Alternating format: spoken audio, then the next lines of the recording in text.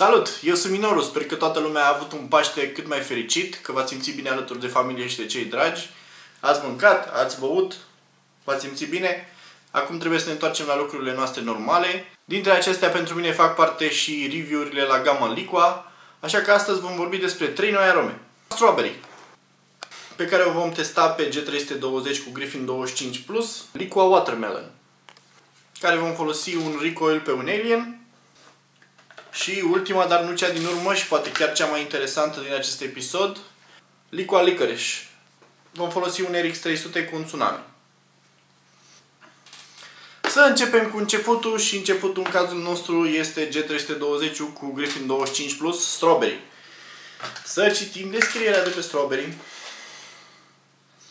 Un gust distinctiv natural al căpșunilor proaspăt culese ce lasă un gust dulceag în gură.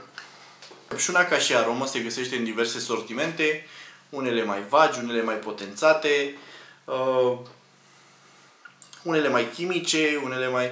Să vedem licoa ce are de adus nou în acest joc. Bine, aroma de căpșunea lor nu este nouă, dar toată gama cea nouă aparent a fost regândită și s-au făcut mici modificări pe aici pe acolo.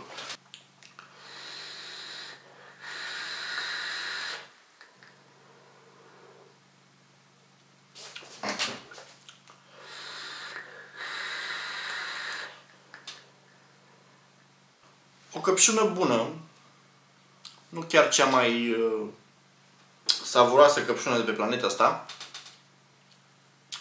lasă un aftertaste așa de sâmbure. Adică știți că, în general, căpșunile au chestiile alea micuțe de pe coajă, care dau un gust distinctiv, are textură căpșuna. Același lucru pot spune și despre această aromă de la Liqua. Este bună, nu impresionează prin nimic anume, nu pot spune, Doamne, ce aromă de căpșună cum n-am mai mâncat în viața mea. Nu pot face asta, dar în schimb este o aromă decentă.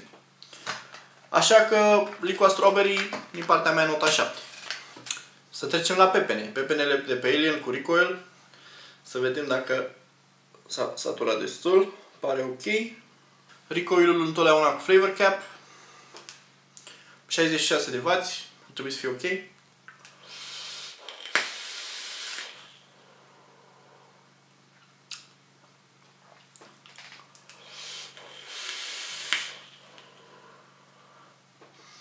Pepene roșu, nu pepene galben, da?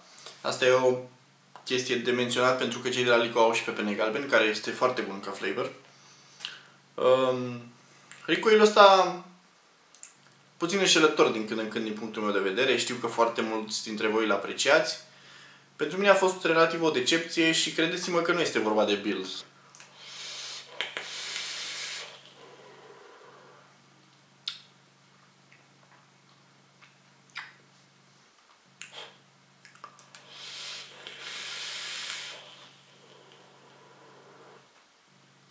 Am redus puțin uh, watajul și automat temperatura din uh, recoil pentru că acest pepene mi se pare puțin cam ciudat să fie vapat foarte sus. Am încercat, pe la 70 de W este destul de mult. Uh, eu personal am găsit sweet, sweet spot-ul undeva pe la 55 de W și aici aroma este într-adevăr potențată. Se simte gustul fresh al pepenelui roșu o ușoară notă amăruie din uh, coajă. Descrierea aromei este cât se poate de simplă, pepene fresh, proaspăt, exact ce se simte. Din nou, um, noi ca români suntem orientați spre arome care excelează în flavor. Nu este cazul tuturor. Câteodată notele subtile sunt mai mult decât uh, ceea ce trebuie. Liqua Watermelon primește not 8. În principiu, uh, lemn dulce negru cu un gust de anason și bomboane cu un aftertaste cremos și dulceag. Lemn dulce, e, anason, e. Dar credeți-mă că am apucat să o gust înainte să fac acest review. Și nu e chiar așa de e. Este chiar o aromă bună.